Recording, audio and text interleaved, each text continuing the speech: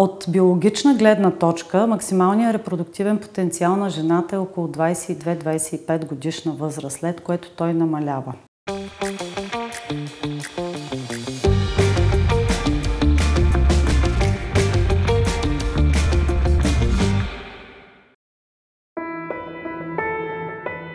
Тя помага в създаването на новия живот. Тя го посреща и тръпне за първата му глътка въздух. Такава е съдбата й. Благодарение на нейните усилия, стотици семейства са прегърнали своето мечтано бебе. Пациентите й са истински герои, а тя е до тях през целия им дълъг и труден път. Знае историите им, знае, че те са поверили съдбите си в ръцете й – съпреживява очакванията и разочарованията им и се радва, когато преминат през изпитанието да бъдат родители. Представяме ви доцент Мария Юнакова, акушер-гинеколог и репродуктивен специалист. Тя съзнава цялата отговорност, която носи, но най-вече усеща смисъл от призванието си.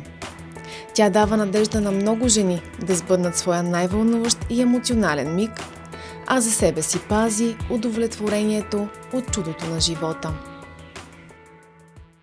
Доцент Юнакова, много благодаря, че вече сте част от рубриката ни Жените на България. За мен е удоволствие. Благодаря и аз за отправената покана. Лекарската професия е много близко до Бог. Това е изключително човешка професия. А, детската мечта ли следвате?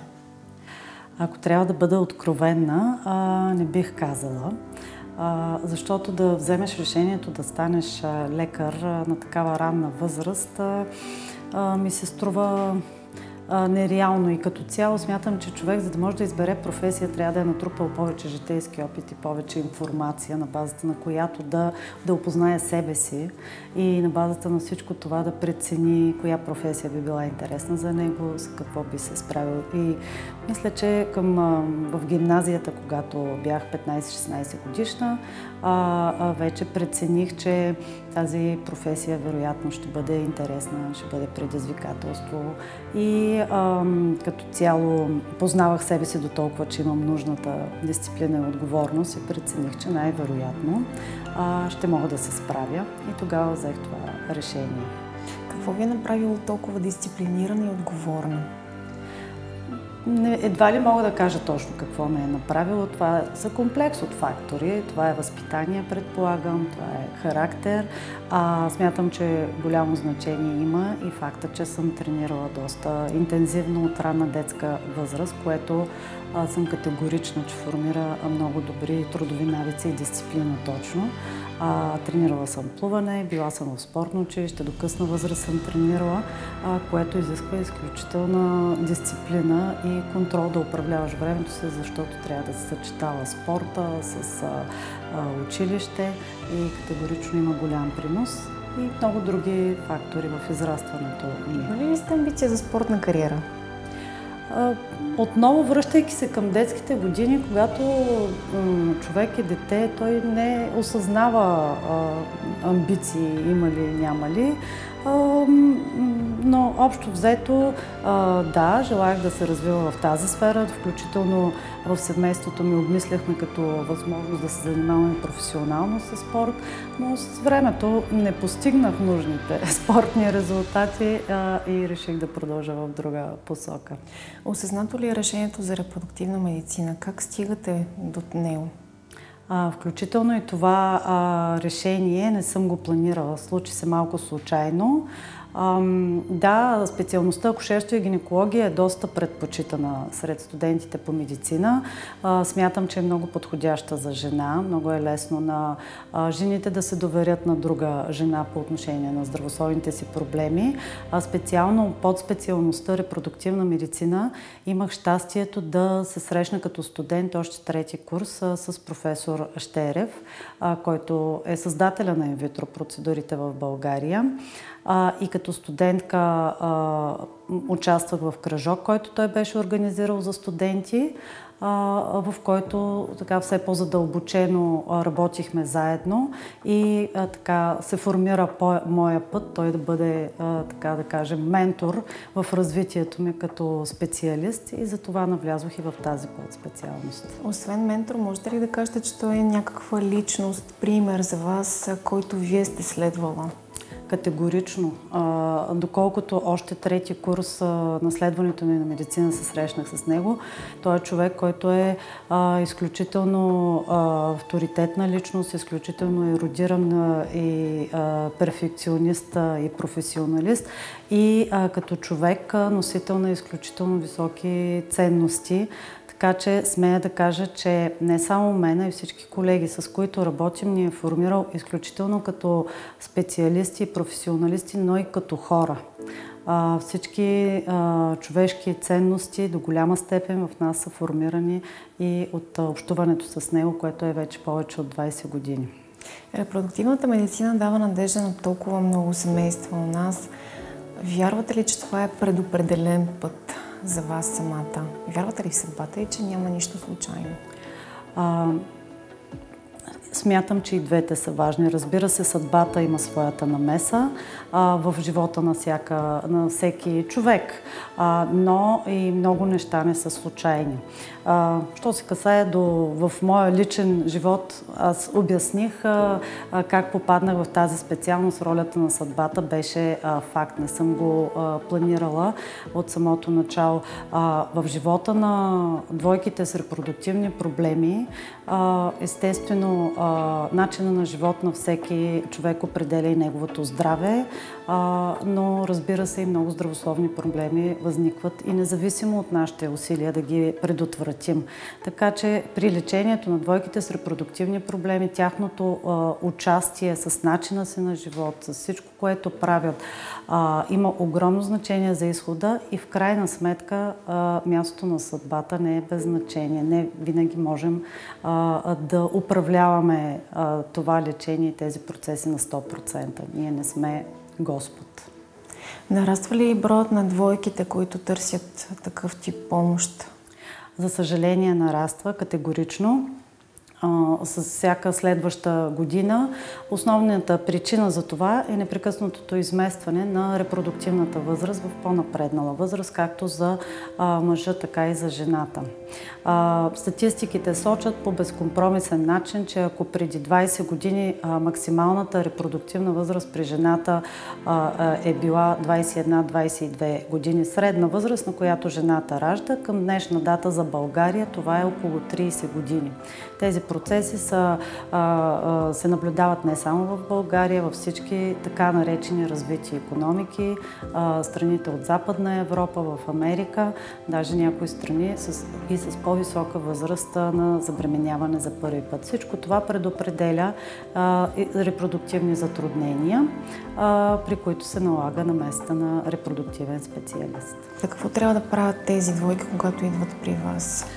Както споменах, ние не можем да а, дадем напътствия. А, изместващата се репродуктивна възраст, това са а, обществени процеси, които са необратими, бих казала. Да, а, ролята на медиите в този контекст е много важна за повишаване на информираността на а, хората с репродуктивни намерения, а, повишаване на информираността на обществото далеч преди да са се формирали неговите репродуктивни намерения за възможностите. А, а, оттам нататъка Както споменах, участието на партньорите в процеса по създаване на потомство е изключително важно с а, техния начин на живот и при необходимост и промяна в начина на живот, когато пристъпят към тази крачка. Активният двигателен режим, здравословното хранене, редукцията на тегло, ако има наднормено такова,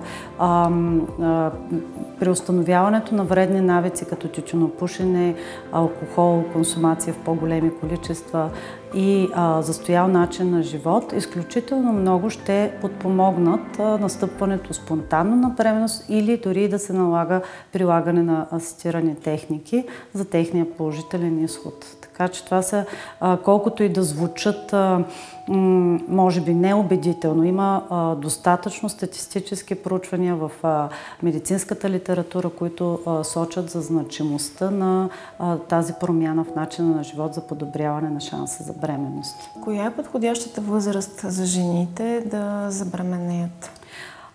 От биологична гледна точка, максималният репродуктивен потенциал на жената е около 22-25 годишна възраст, след което той намалява. Това е а, абсолютно а, доказано. А, над 34-5 годишна възраст при жената започват да настъпват а, често а, затруднения. А, удължаване на периода, в който настъпва а, бременно спонтанно, а, отнема повече време, а, повишен риск от а, настъпване на спонтанен аборт, а, което е най-често за сметка на а, едно а, вече влушаващо се качество на яйцеклетките. А, така че а, смятам, че 22-25 годишна възраст, може би към днешна дата е твърде, твърде оптимистично, но ако жената може да реализира репродуктивните си планове до 33-34 годишна възраст, е по-вероятно да не срещне затруднения и да не се налага съдействие от наша страна. Вие самата кога раждате? Имате детенце? А, аз не бих казала, че съм добрия пример, да, и аз а, го оставих, може би, за последния възможен момент. Аз родих на 36 години бях, когато родих а, а, своя син. За щастие нямах затруднения, а, но а, хубаво е по-на време да се случват тези неща. Какво усещането да допринася за създаването на нов живот? А, усещането е а, невероятно, наистина. Удовлетворението е а, голямо. Преди да го правиш, преди да започнеш да работиш такова нещо, не можеш да се представиш а, колко голямо е удовлетворението.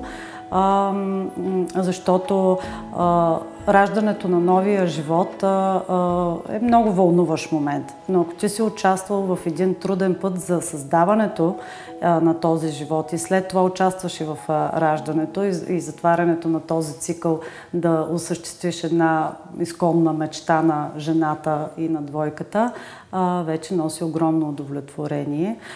Между другото, на благовещение всяка година с кратка пауза в COVID годините събираме нашите пациенти, които имат възможност да дойдат да се срещнем с тях, да видим децата, колко са пораснали, да се запознаем с тях и става един страхотен празник. И това са моментите, които много ни зареждат, когато видиш реално плода на а, своя труд. И разбираш, че всичко си е струвало като усилия и като емоции. Помните ли първата жена, която дойде при вас за помощ? Кога беше това? Кога се случи? И съответно, какви са отношенията ви с нея, с детенцето, което има?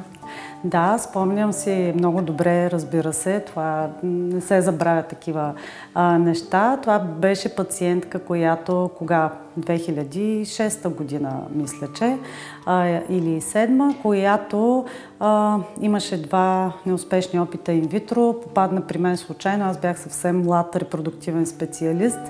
Бях много притеснена, разбира се. Консултирах се за всяка своя стъпка с професор Штерев лично. И за голямо мое щастие настъпи и нейно бременност. Ма тя беше с а, 10 или 11 годишен стерилитет. Доста труден случай. Може би а, така имах късмета на начинаещите, както се казва. Проследих нейната бременност.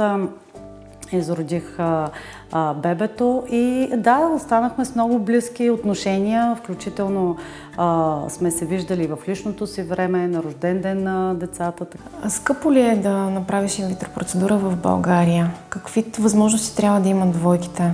А, за щастие, Центъра за асистирана репродукция, който е а, под а, а, управлението на Министерството на здравеопазването, това е финансиращ орган, смятам, че осигурява сравнително добри финансова помощ на двойките, които имат репродуктивни а, а, затруднения, имат нужда от инвитро лечение. Защото поема а, финансирането на 4 опита инвитро почти напълно. Двойките имат да доплатят а, малки допълнителни разходи. А, а, иначе е скъпо и смятам, че така доста би затруднено сравнимо голяма част от двойките, които имат репродуктивни намерения. Преди да съществува а, този а, фонд, а, действително бяха много затруднени пациентите. Имаше много недостатъчно финансиране по линия на здравноосигурителната каса, така че в сравнение с други европейски страни, смятам, че при нас тази помощ е доста съществена и помага на много двойки. За съжаление, едва ли всеки случай завършва благополучно, има щастлив край. А, може би има неуспешни опити при немалко двойки. Как преживявате такива моменти? А, естествено, че а, а, споделяме нещастието на нашите пациенти. А, за щастие ние имаме информация и знаеме път, по който трябва да се мине и който в може би 90 и повече процента от случаите ще доведе до резултат. Има различни подходи. Разочарованието от един успех за пациентите е по-голямо, защото те не разполагат с тази информация и им отнема време да приемат, че понякога се налага да извървят малко по-дълъг път. А, да, медицината не е математика. Статистически винаги има някакъв процент на неуспех.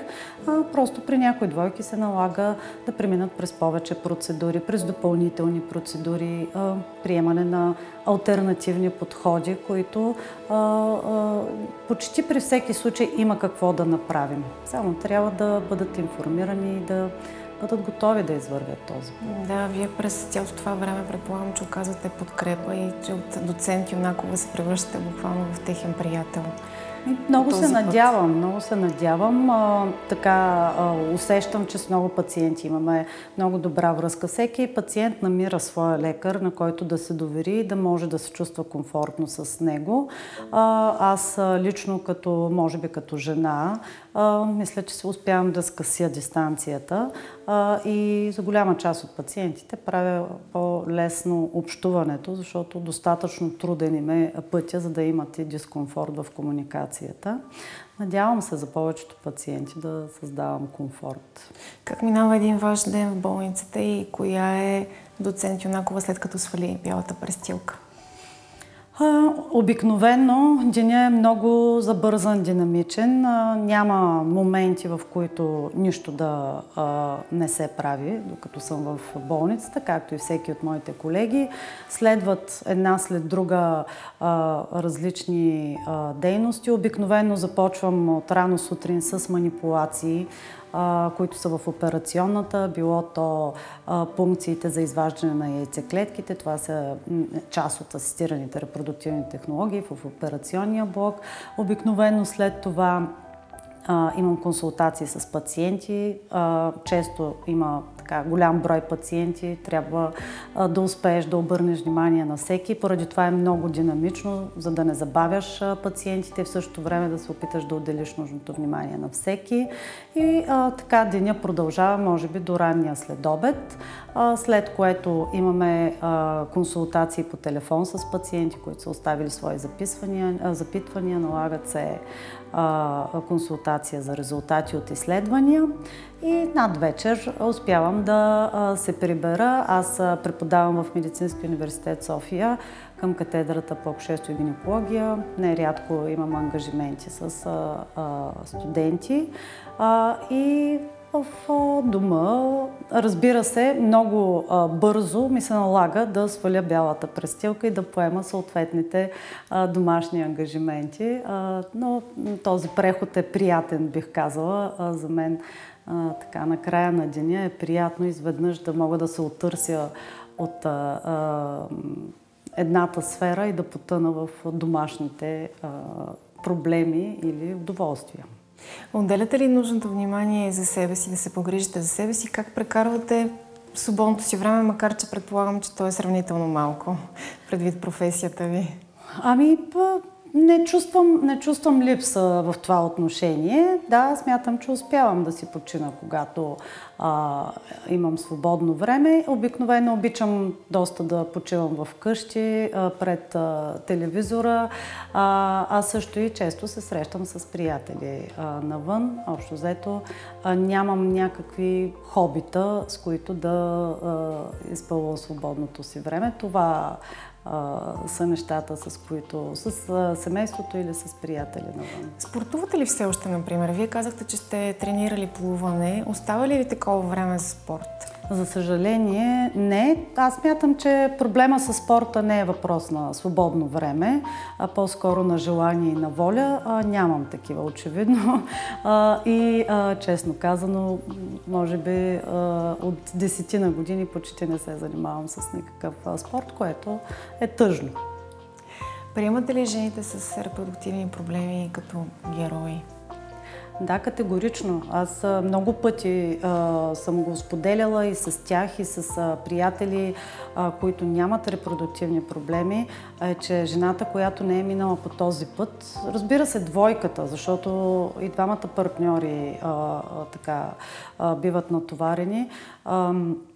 Нямат никаква представа колко е трудно. То е несравнимо.